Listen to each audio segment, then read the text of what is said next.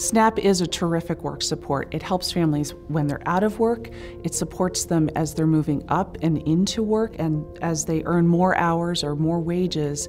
It's there with them, slowly phasing out as they are better off.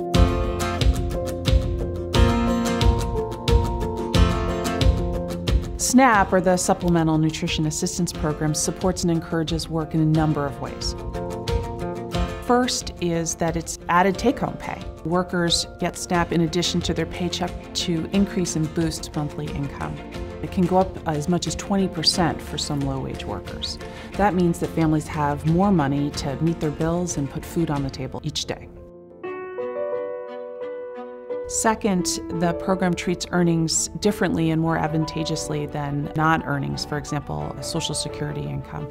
So, the more you earn, the more you can take home in total overall pay. It's always to your advantage to take home more earnings, work more hours if you can.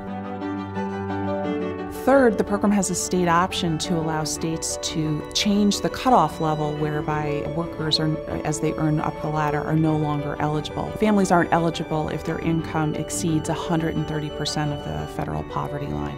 But states can actually ease that and let it go up a little bit higher. So the more families earn, they can stay connected to SNAP. Again, giving them an incentive to earn more.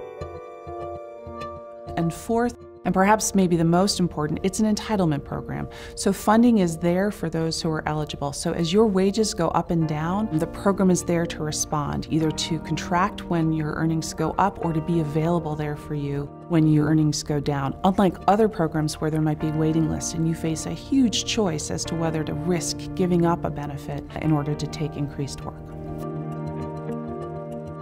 A significant share of families who participate in SNAP are families with earnings. At any given point, more than half of the families with kids on the program are families with earnings. And of course, still others are there temporarily because they're in between jobs.